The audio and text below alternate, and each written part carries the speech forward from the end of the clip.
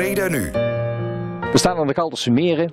Er is uh, vanavond volop getraind door uh, een man of 90. Onder andere Judith Verstaalduinen. Die hebben we gesproken. En zij is de echtgenote van Anton Sprangers. Anton, jij bent ongeneeslijk ziek. Een heleboel mensen die zijn aan het zwemmen om geld op te halen voor uh, de kankerbestrijding. Dat moet jou wel wat doen.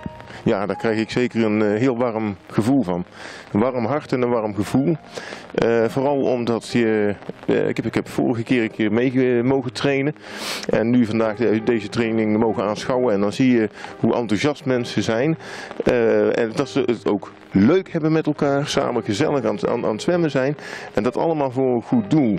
En ja, dat goede doel dat dient een, een, een aantal wegen. Um, je kunt natuurlijk, als je denkt aan kankeronderzoek, um, het, we moeten het gaan met z'n allen gaan genezen. En natuurlijk moet dat ook de inzet zijn van, uh, van alle onderzoeken.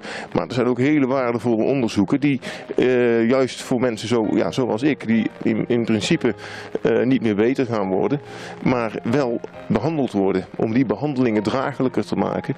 Daar wordt ook heel veel onderzoek gedaan en daar is ook heel veel geld voor nodig. En ja, dat is minstens zoveel de moeite waard als voor genezing te gaan. Maar genezing zou het allermooiste zijn. Ben je trots op je vrouw? Ik ben apen trots op mijn vrouw en ik begeleid ze dan ook heel erg graag. En uh, ja, ook, ook Evelien gaat meezwemmen, uh, de dochter van Judith. Uh, bij elkaar hebben ze al 1500 eh, euro bij elkaar Wauw. Ja, dat is een behoorlijk bedrag. En ja, ik hoop dat dat niet het laatste is en dat er nog mensen zijn die nu kijken en allemaal naar de site gaan van Swim to Fight Cancer Breda. Zoek Judith op en doneer.